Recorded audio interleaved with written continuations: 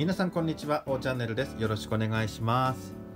さて今回は、えー盲学校の思い出話のシリーズの中からですね、音楽の授業に関するお話をね、えー雑談をしてみたいかなと思います。改めて私は生まれつきの視覚障害者で近くのものが見える程度の弱視です。で私は、えー小学4年生から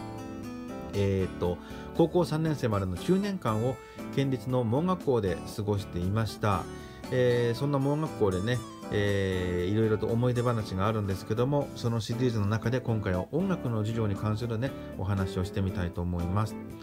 えー本題に入る前になんですけども、えー盲学校、まあ、目が不自由な人がね行く学校のことを言いますけども、えー今はね盲学校ろう学校養護学校を全部含めて、えー特別支援学校というね言い方に変わっていますよね。でも私がいた頃は盲学校でしたし今でも、えー盲学校っていうふうに呼ぶことも多いので今回は特別支援学校とは言わないで盲学校という表現を、ね、使わせていただきたいかなと思います。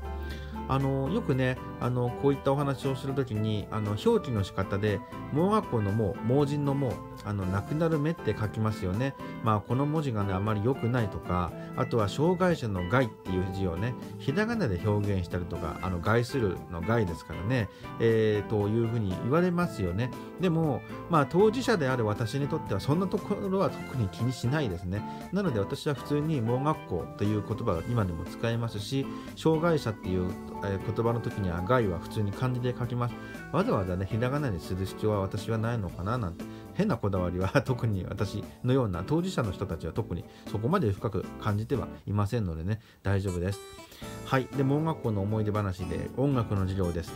えー、と音楽一般的にね学校でも、えー小中高と盲学校にもある同じ授業をねやっています。なので普通にね楽器の演奏もしますし、えー合唱もしますし、えーそれ以外のね音楽の歴史の勉強とかもします。で私は、えー、とクラシックとかあとは合唱曲が大好きで、えー実は盲学校にいたからっていうわけでもないと思うんですけどもいろんなね科目の授業がある中で私音楽一番大好きでした。で特に思い出に残っているのはやっぱり合唱のコンクールですよね。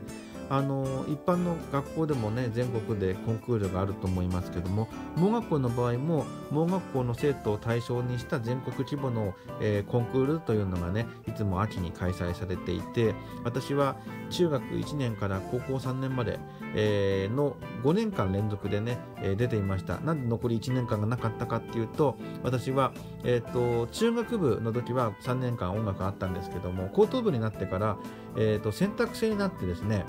なので、えー私高校1年の時は音楽を、え選択して高校2年は美術を選択して、まあ、音楽もね美術も両方とも芸術という分野の中に入るんですよね。で高校3年の時には大好きだった音楽の方をね選択しました、えーなので、えー私高校2年生の時だけはね音楽が1年間なかったっていうね、えー年があったのでその時はねちょっと音楽のコンクール合唱コンクールには出ていなかったんですけどもね。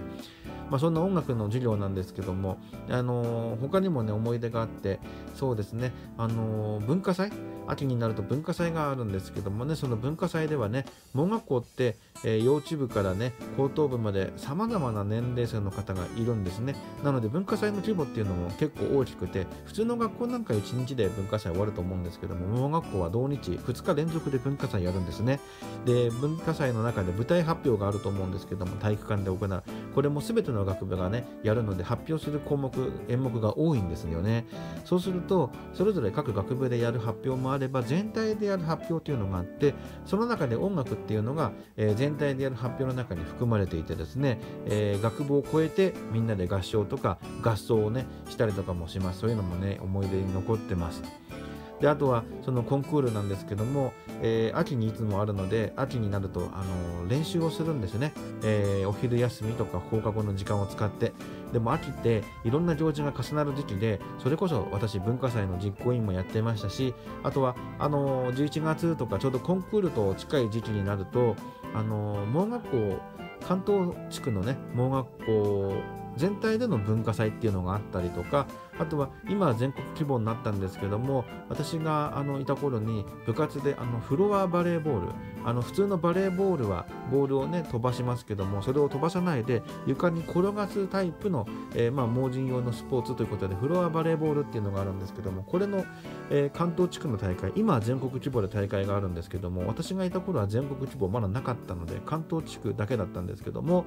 えー、その大会の練習もあったりとかして本当に秋って忙しいんですよね。特に9月から11月にかけては。なので放課後とかお昼休みに何かしら毎日予定が入っていてそんな合間を縫ってね合唱コンクールの練習もしてましたね。懐かしいな新宿でやったんだよねいつもね毎年ね。今もやってると思うんですけど。はい。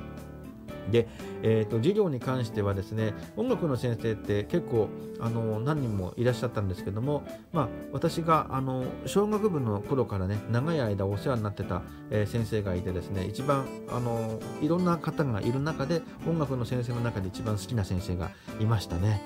であの音楽テストもあるんですけどもこれがねすごく緊張するんですよね。一人ずつ音楽室に入ってですね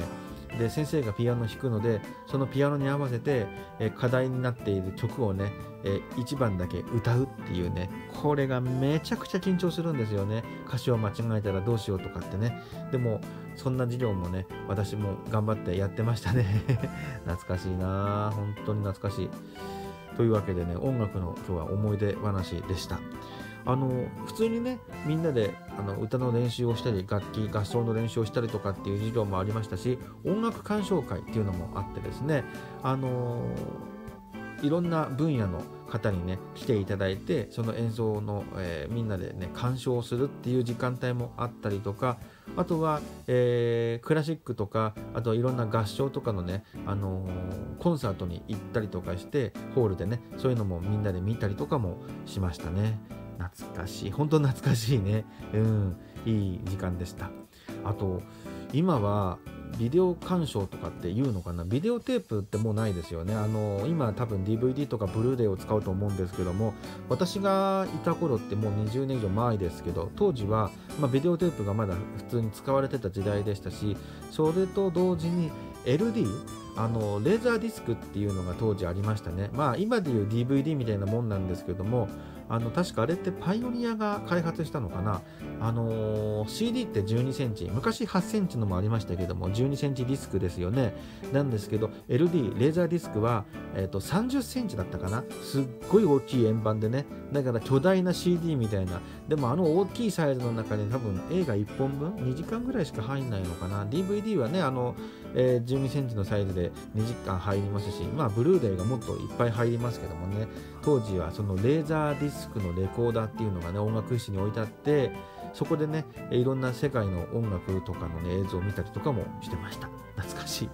今日は何回懐かしいって言ったのかな。はい。というわけで今回は、えー、門学校の思い出話の中から音楽の授業に関するお話をさせていただきました。最後までご覧いただきありがとうございました。それではバイバイ。